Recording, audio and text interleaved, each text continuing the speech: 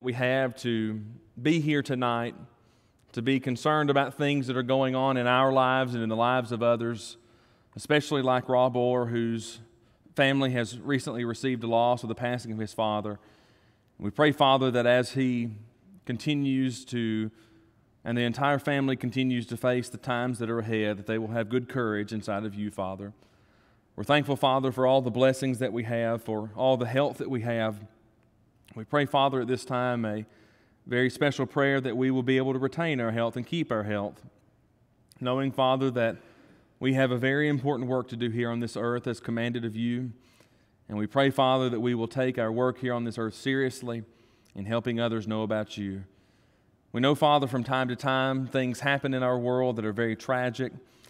And we pray, Father, at this time for something that has been on um, my mind and the minds of several of the people throughout the state of Tennessee in this area uh, for a little boy who had fell in, fell in the pool this week and is in Vanderbilt, uh, the Swims family, Father. And we pray that as they're there with him, that they will be able to get the treatment that he needs and to be able to have the courage and the strength to be there with their son as he's in the hospital. We're so thankful, Father, for health, for all the wonderful things that we have. In Christ's name we pray. Amen meant to mention this as we started, but a friend of mine who was in Memphis School of Preaching with me, his son, who was two, fell in their pool, um, and they found him sometime after, um, and he is in Vanderbilt now. Um, so they're they're keeping up with him. So that family, uh, they, are in McMinnville now as he works with the Central congregation there. But keep that family in your prayers, the Swims family. Uh, my son also is at home sick. He has an ear infection. Decided to catch up on one of those. That seems to be the thing for children. But keep him, keep Colston in your prayers as well. We are in 1 Timothy chapter 2, and you just go ahead and be turning there, and we'll pick up in this particular section and be able to get to where we need to get in this particular section, talking about the roles that we're in. Remember, our objective of this class is to pay attention to the roles and learn our behaviors inside of the church, inside the Lord's church, with all of our various roles. So, we've looked at several things that Paul has written to Timothy and throughout the chapters of things Timothy can do He's exhorted all men to live as they should. And now, as we turn and we make our way into 1 Timothy chapter 2, we're starting tonight in verses 9 and 10, of which we ended last week, that talks about some things that I believe are rather interesting. And I believe that maybe possibly we don't give a lot of attention to anymore. I think there are various reasons behind that. I believe that really is irrelevant. But just read with me 1 Timothy 2 9 and 10, and it'll set the scenes for where we're going to study tonight reads this way In like manner also, that women adorn themselves in modest apparel, with shamefacedness and sobriety, not with broidered hair or gold or pearls or costly array, but which becometh women professing godliness with good works. You know, anytime you come to 1 Timothy chapter 2 and you, you make your way down to verse 9, you see that word modest there. And usually, inside of this particular discussion, you'll have a discussion on modesty. Now, usually, when we go to 1 Timothy chapter 2, what type of modesty is being talked about? Decent in which way? Think about this for just a minute, because modesty is, is, is a multifaceted word.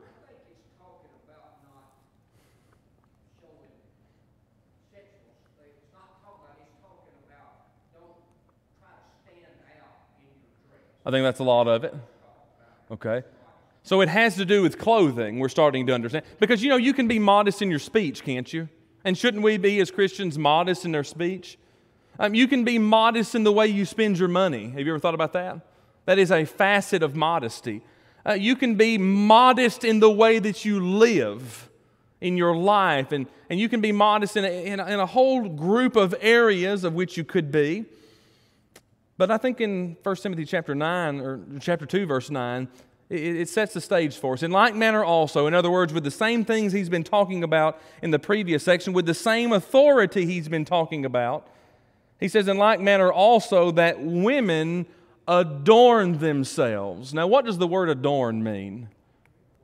Wear, put on. That's the way I always like to look at the word adorn. You put on something, so we already on the face of it know what we're talking about to a degree. Now, I believe with Jimmy as well, this is not just talking about singularly in what we wear or what we categorically do not wear in the idea of trying to provoke a sexual nature in that way. I believe it's talking about that.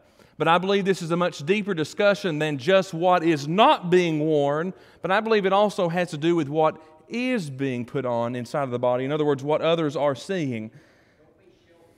That's right, showy. Flashy, there we go. We're getting it there. Now we're right where we want to be. So he tells them to adorn themselves in modest apparel. I, I, believe I can say this with, with all degree of assurance that every person in this room knows what is modest, just as much as we know what is immodest. Now, the question becomes how do we define those two particular phrases? And listen to this where do we apply those particular phrases? What's being described in this chapter? If you go back up to verse 8, read, read, read verse 8 with me. I will therefore that men pray everywhere, lifting up holy hands without wrath and doubting.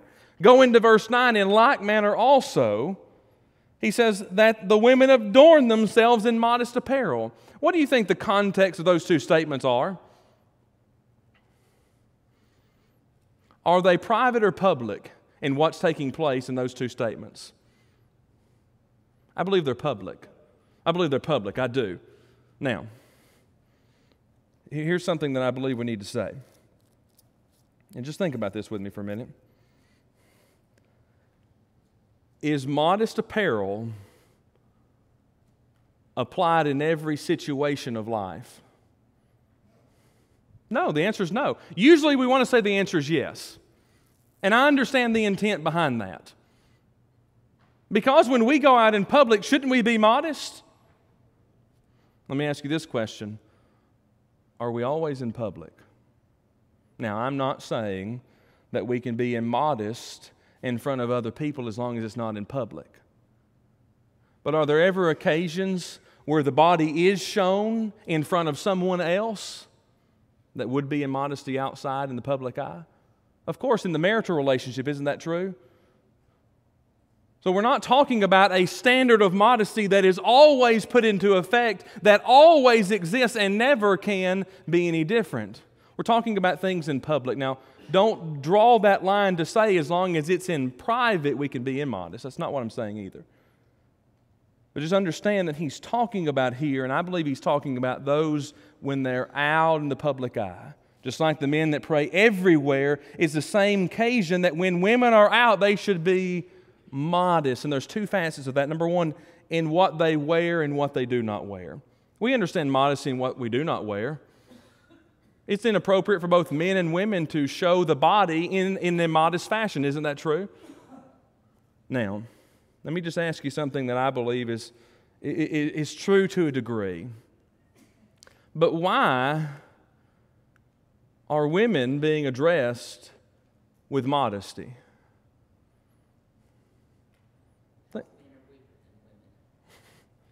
I think that's a part of it. I do. I do. But why? Think about it. Why? Yes, sir. Okay. And that is a good example. The award shows on television. How, how are the women dressed? Barely, I think is a good definition. Is that a good definition? How are the men dressed? How are the men dressed? In a tuxedo, and their neck's not even shown. Which one is modest and which one is immodest? Well, the men are being modest, aren't they? And the women are being immodest in their dress. I'm just telling you something. Usually, I'm not saying this is always the case, but usually, men don't have a problem with modesty.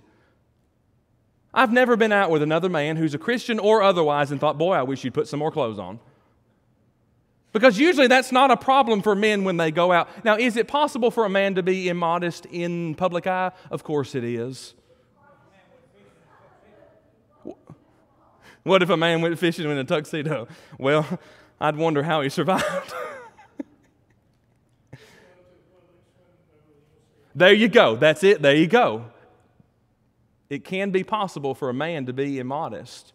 But usually, when we talk about it, who are we talking about? Well, the same thing is being talked about here. Because usually it's, it's, it's not a problem for men to be modest dressed. That, that's usually not an issue. But, but it is a very big issue for women to be immodest. Now, I'm not saying you're choosing to be immodest in this particular occasion, but just think about it. Statistically speaking, normally who is likely or more likely to be immodest? So just bring that into your minds for just a minute. And I believe it has to do with the, the way men are. Now, I'm not saying that a man cannot turn his eyes because he can. Usually, in the modesty discussion, someone will say that we need to be modest because men are weak. And I understand what's being said, and I'm not saying that about what you said. I think it's true. But I think that's a crutch. Yes, there you go. Well, I ask people this, this particular question. If you went to go see the president, what would you wear? What would you wear? To go see what's been defined as the most powerful man in the world, what would you wear? Ah, you'd be in good taste. That's right. But see, it's in the regular part of life that sometimes we're not in good taste mm, for various reasons. But you have to see in this particular occasion, he's addressing ladies because who is in control of this? Who's in control of the way everyone dresses? The individual. There we go. Now, principle number one I believe that if someone is in immodest in front of you, you have a way to leave. Just, just remember that. If something filthy is in front of you, you, you don't have to partake in that. If someone brought you a mud pie, would you eat it? Well, it was a pie. you would if you're hungry. we understand it in other areas, but remember, we are in control of what we do. So, so, point number one, we're in control in what we wear and what we see and what we continue to see. But number two, inside of this, we need to recognize that modesty is a two way street.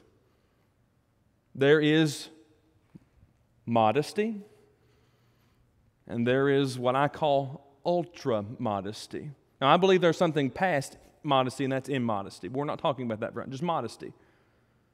There is modesty, there's a way to be modest. And then there's a way to take it too far. In everything in life, things can be taken to the left and to the right. Isn't that true? In, in everything in life. And, and the same is true about this particular scene. This particular verse is not saying that women have to be different than men.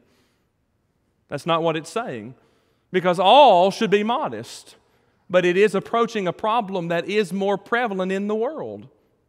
It's interesting to me that in the time this was written, this was a problem. And would you say it's still a problem? And I want to say this it probably still will be a problem in 50 more years.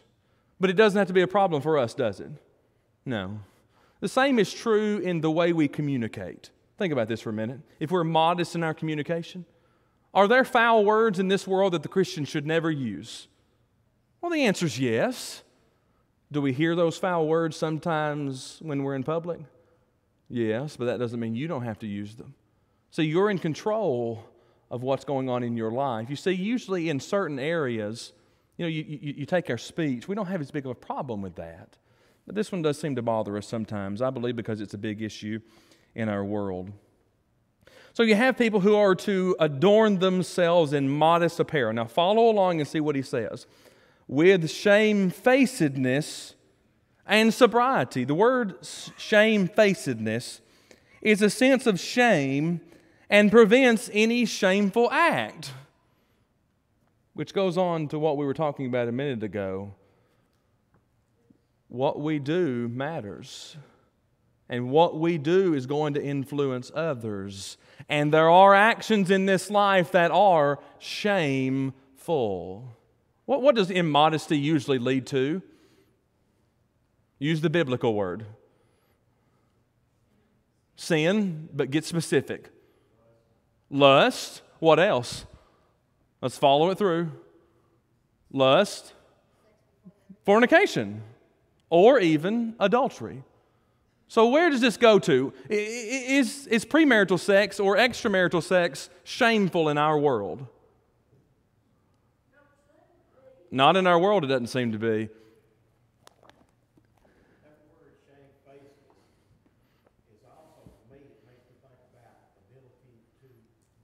Yes, it, it does have that. Yes, sir.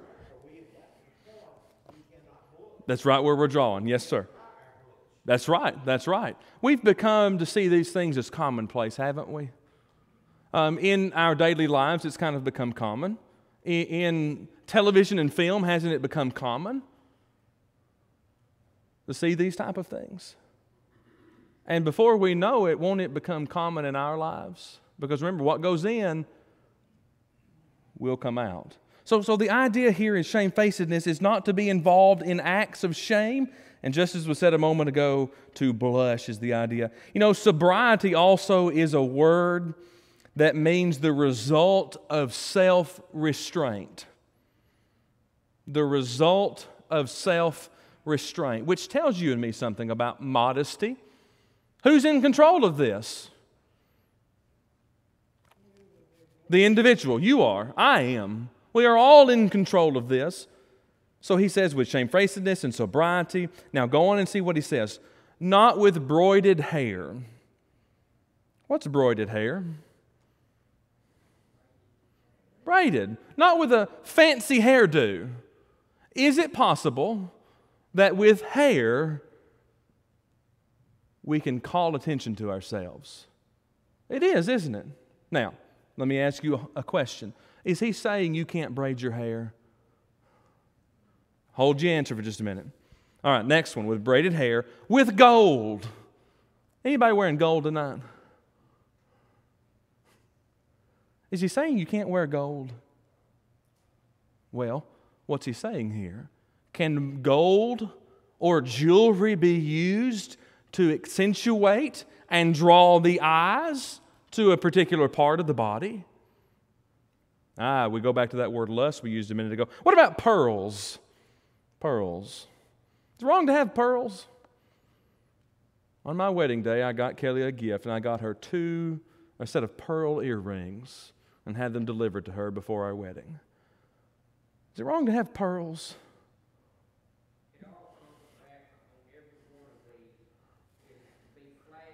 There you go. There you go. And that's what I think he's doing in this next, next phrase, or costly array. There you go. It does. That's right. We know what happens when someone is not sober, don't we?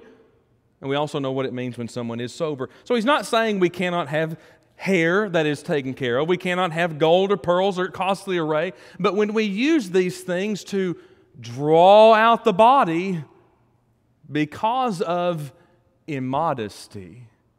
Get the idea? Is there anything wrong with a gold ring? No. But when I use these things to draw to self, he goes on and says, But which becometh women professing godliness with good works. Uh, ladies, what is your number one goal in life? There you go. To go to heaven. And that's exactly what he's saying here. Which becometh women professing godliness. If we're going to be godly in the way we live, it's going to affect all areas of our lives. Now, usually when you get into this modest discussion, people like to set standards for what is modest and what is not. I think we understand modesty, don't we? I think if something draws someone to lust, then I don't need to be doing it.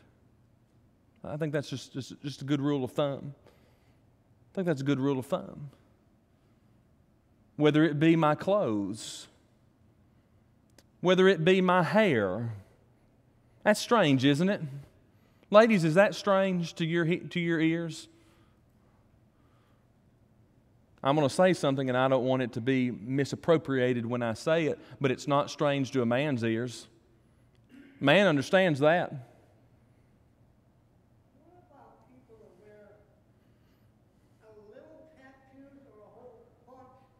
That's why I said I'm not going to sit here and get into situations tonight. Because when you open up that door, what we start doing is setting standards in our conversation, and we miss what the text is saying. Here's what the text is saying We should do nothing that detracts from godliness. That's not just in our clothing or our jewelry, that's in our lives. And that's what he's saying here. And he adds something to it that I really enjoy. Matter of fact, the verse, the, the passage would be much different if this wasn't there with good works. What should we be doing? We should be involved in good works. What's the greatest work in this world? Telling someone about heaven, about Jesus. So there we go. Because if we're doing something separate to that, it changes our motive inside of this life. Now, when we move from verse 10 and we go into verse 11 and 12, it's almost as if we hit controversial passage after controversial passage. That's right. Now, some of the other parts of the embroidered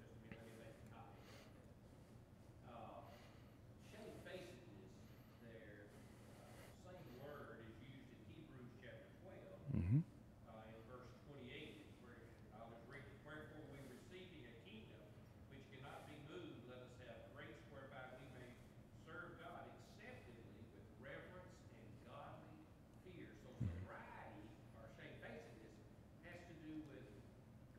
Uh, he's not saying there's anything wrong with those.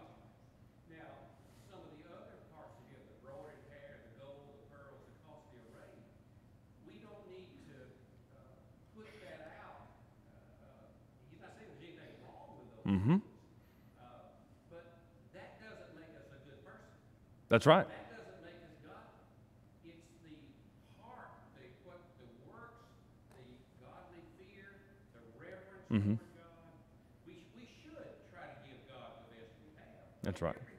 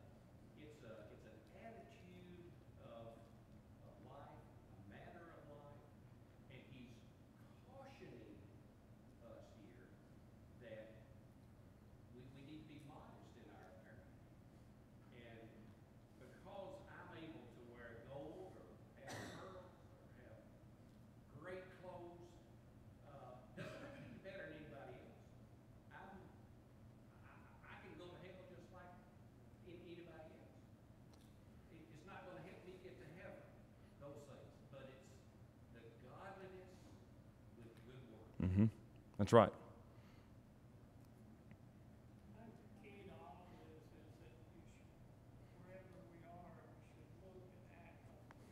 That's right. I agree with you. I agree wholeheartedly there. That's right. That's right. I think that's I think that's right. I think that's what both y'all are saying. Is what all we all of us were saying there. When he moves here, you, you, you leave 9 and 10, you go to 11 and 12. Controversial passage over to controversial passage. Now, just read with me 11 and 12. Let the women learn in silence with all subjection. But I suffer a woman, or I suffer not a woman to teach, nor to usurp authority over the man, but to be in silence. Now, some people would say, look, God is trying to silence women. Is that true? The answer to that is no. Get the context of what's taking place here. In the, in the context of what's taking place, has to do with the learning of God's Word, the preaching of God's Word. Yes, sir. Yes, sir. Yes, sir. I, I would suggest um, that's exactly what you're talking about um, especially when you go back to the beginning of what was happening. Um, when you go back up to the beginning section, talking about the church, talking about the preaching of Christ, yes, I would think so. That's right. I agree with you. Um, and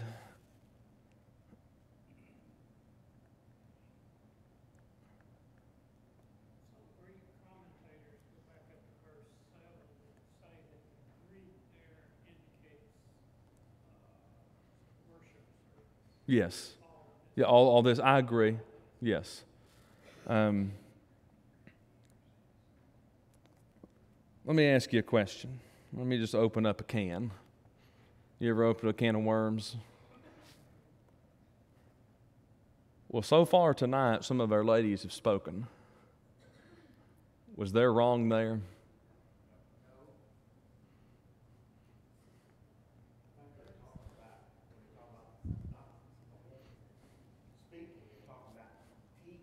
Yes, I agree. Ho, I agree with you there.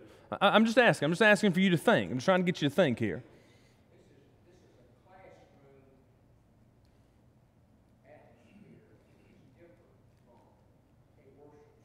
Agree wholeheartedly with you. I agree. And I'm going to add something to that in just a minute.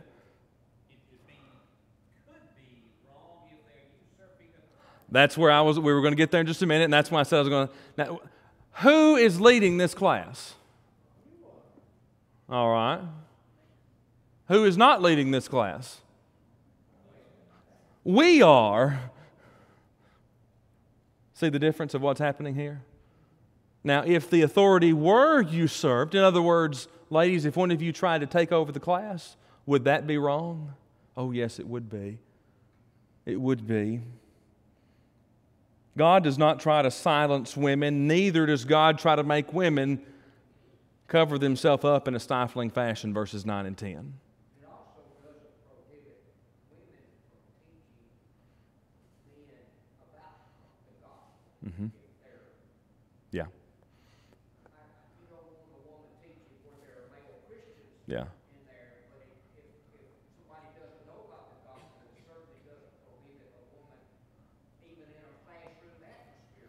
And think about this for just a minute. If, if, I'm not saying it does, I'm saying it doesn't, but if it were saying that women had to remain silent completely, how could they sing?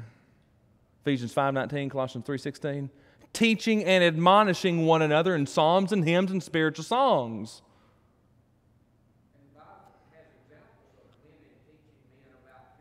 That's right. It's about context here, about what's taking place. Yes, sir. Not in a worship service. Yes, sir. Nor in official class setting as we are in tonight. But, but look at what happens here. In the assembly of God's people, let the women or the women learn in silence with all subjection. You go to the word silence that's used here in verse 11. And you can find this used also in 1 Corinthians 14 34. And it's from a Greek word that means absolute silence. What does absolute anything mean?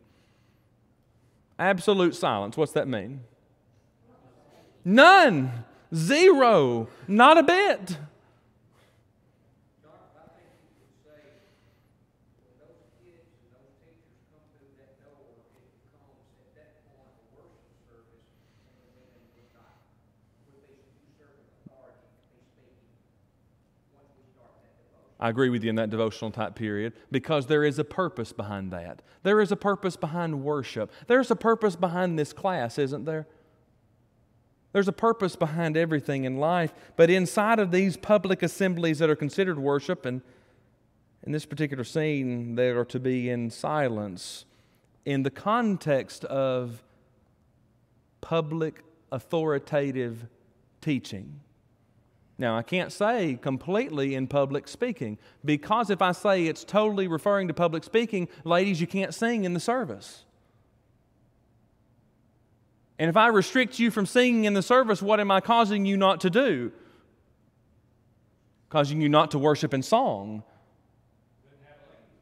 No, you couldn't have any of these things if you're saying that a woman cannot teach, and if that's true, our classes in the back are sinful. Because who's teaching primarily, minus one class tonight? The ladies are teaching those classes in the appropriate manner of what's going on. Silence. This is a word that means complete silence. And he says, Let the women learn in silence with all subjection.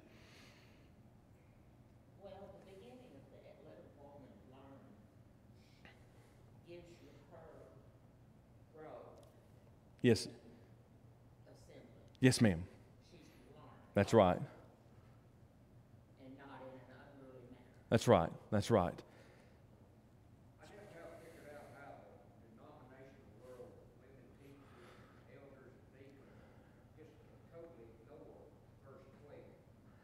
I haven't either. Not a woman to teach, nor to usurp authority over what?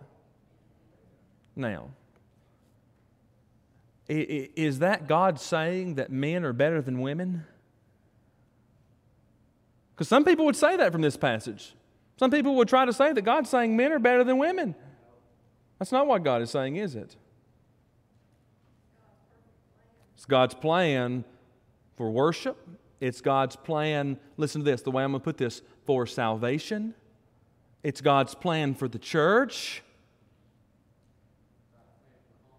Hey, God's plan, especially when you add this word authority, it's God's plan for the home. That's a good way to look at it. That's right, God's order. You know, our world is very interesting.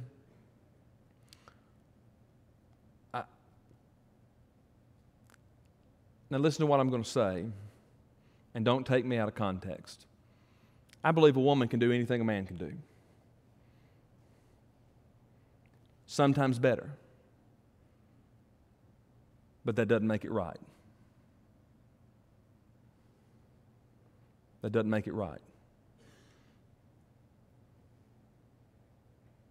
And our world has taught us that if we think it's right, then it's right. And therefore, you have the denominational world which ignores this passage, especially inside of verse 12. I believe the but I suffer is not only a blanket restriction referring to the situations at hand, but also shows us what God expects. But I suffer not a woman to teach. Where? In the assembly. Once again, if he's saying teach in every scenario, then we've got a problem tonight. Then we have a problem in this room tonight because some of y'all have been speaking. I don't believe that's what he's referring to. If we're saying that it has to do with every situation of life, then in Titus chapter 2, verses 2 through 5, where the women are told to teach the younger women, that means they couldn't teach there either. So is God contradicting himself? The answer is no. It has to do with this particular middle phrase. And this is a phrase that our world just does not like nor usurp the authority over the man. If it wasn't for the women back there teaching the children, they wouldn't be two pews in front of you on Sunday night being smarter than you. Very possible. Nor to usurp the authority over the man. Has God created an order inside of the home? Yes. Has God created an order inside of the church? Let me tell you, that's not new today. In the beginning, with man and woman, were the roles not different? Remember, our objective of this class is to learn how to behave within our roles within the Lord's church. Do you want to know why there will never be a female preacher in the combined assemblies in this place? Do you want to know why? Because God has an order. And God has told us over and over and time and time again what He says let all things be done, passages like this, let all things be done decently and in order. God has an order to things, just as much as He does in the home as He does inside of the church. Nor to usurp authority over the man, but to be in silence.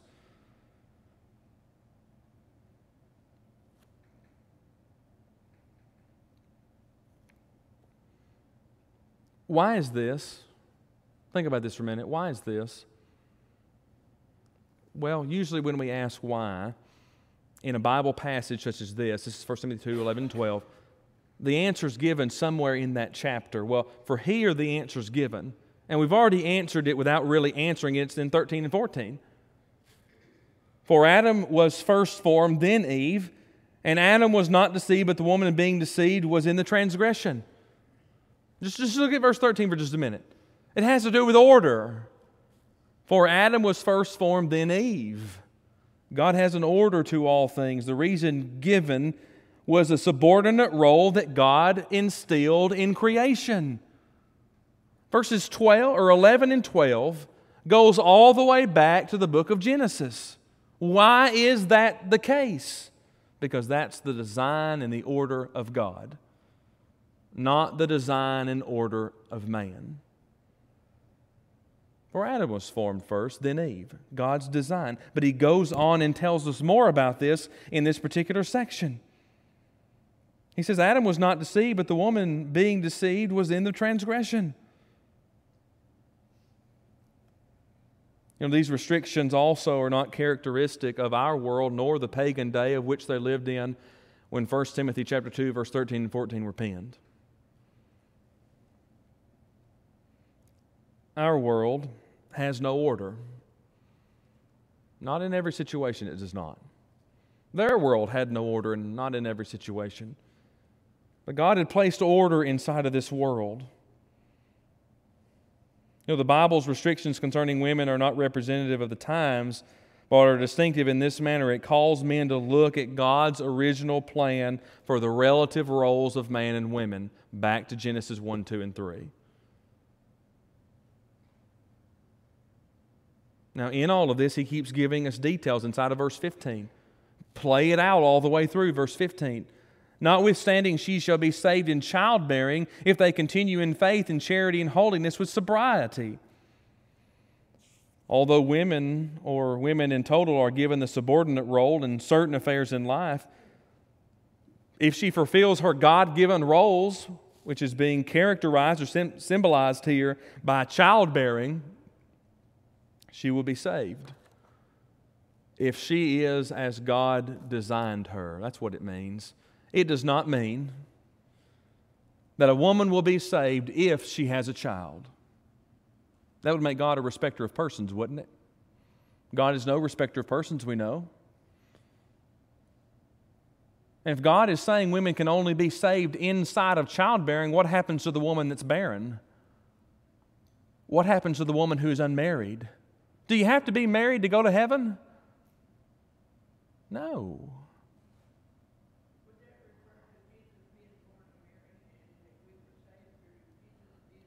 I think it does have some reference to that. Yes, I do. Um, but, but I think it goes back to the order of what things, and I think it brings our minds all the way back to Genesis because if childbearing did not exist, who could not exist? The human race, but go further than that. If childbearing did not exist, then who could not exist? Christ.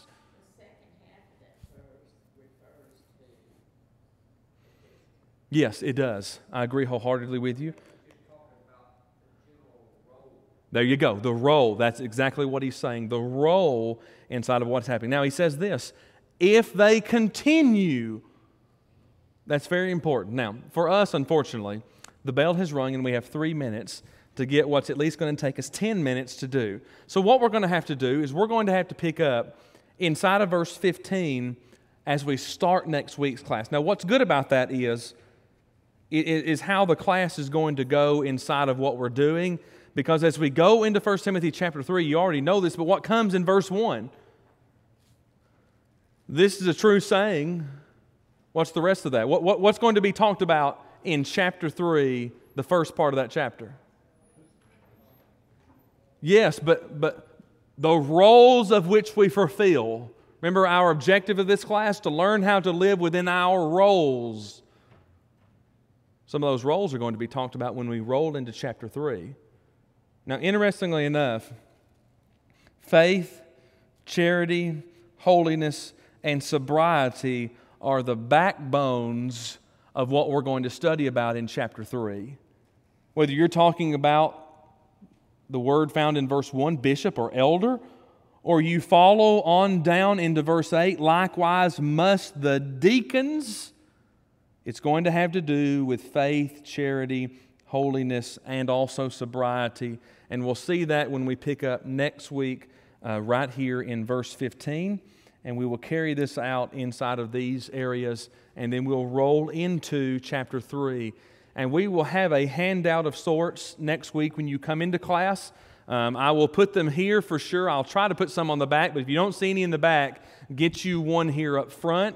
Uh, there will be a handout that's going to go with all of the characteristics and qualities found in chapter 3.